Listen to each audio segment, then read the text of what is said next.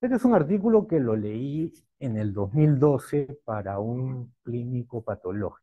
Me abrió la mente en varias cosas. Primero, en definir cómo es una encefalitis. Y segundo, que es lo que voy a enfocar más que todo, son las etiologías de las encefalitis. ¿Cómo definen encefalitis? Mira, hace 20 años. 2010 se publicó, pero el estudio se hizo 2005-2006. Alteración de la conciencia, ¿no? Y no solamente nivel de conciencia, sino también irritabilidad, cambio de personalidad y cambio en el comportamiento.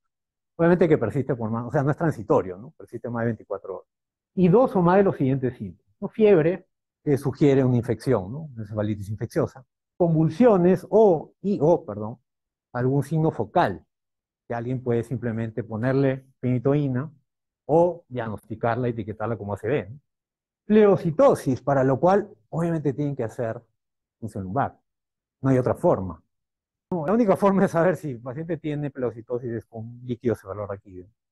¿Y qué más? Anormalidades en las neurosimágenes. No solamente tomografía, sino resonancia. El problema es que nosotros acá en el país no tenemos resonancia. Por suerte, tenemos tomografía, o sea, en el hospital, propio del hospital desde diciembre de 2019, aunque una época que se malogró, ¿no? Pero ya está funcionando de nuevo.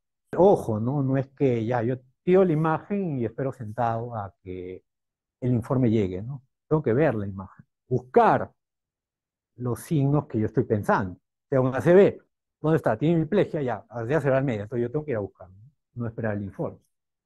Y el electroencefalograma, bueno, puede ayudar, pero no es muy específico, tampoco sensible, pero se puede hacer bien, ¿no? Pero, ojo, es 12 de 5, ¿no?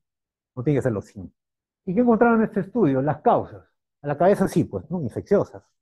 Más de 40%, pero no es neumococo, no es meningococo, es virus, es herpes. Ahora, ¿cómo detecto esto? No es con un test de hada, ¿no? No es con un gramicultivo. Esto es con PCR.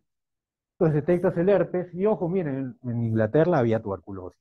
Quizá acá sea mayor un poco, no lo sabemos. No sé si lo vamos a saber alguna vez. Varicela, estreptococo, enterovirus. El 21% de encefalitis eran autoinmunes. Estamos hablando de 2005-2006. En esa época no se conocía más que solo el anti-NMDA y lo de los canales de potasio que eran el EGI1 y uno más.